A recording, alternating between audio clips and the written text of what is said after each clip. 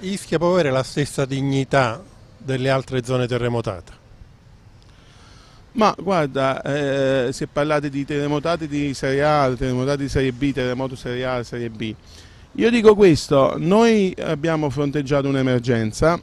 è chiaro che tutto si poteva fare eh, in un tempo un po' più eh, diciamo, condensato, questo è chiaro, eh, le esigenze delle, della popolazione, specialmente Casamiccio, perché stiamo parlando di 2800 sfollati, sono tantissime e forse andavano pure, eh, potevano essere ecco, fronteggiate in, con una tempistica diciamo, più ristretta. È chiaro che però ecco, eh, c'è da dire che eh, la problematica terremoto eh, Casamiccio è una problematica molto eh, diciamo, complicata, cioè abbiamo visto tutti i problemi che sono venuti fuori per poter ecco, fronteggiare l'emergenza. Eh, io non credo che nelle altre parti d'Italia il terremoto è, è stato diciamo, ecco, eh, fronteggiato con una tempistica diversa. Però la politica è stata più sensibile alle altre zone. Questo fatto non deve giustificare, cioè nel senso che non ci dobbiamo ecco, dire vabbè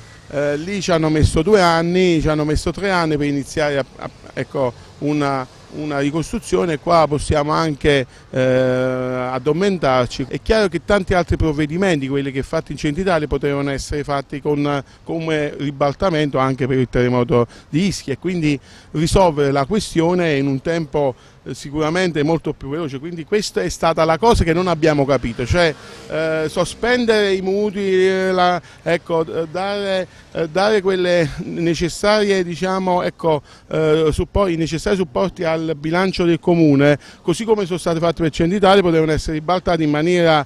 semplice anche per Ischia.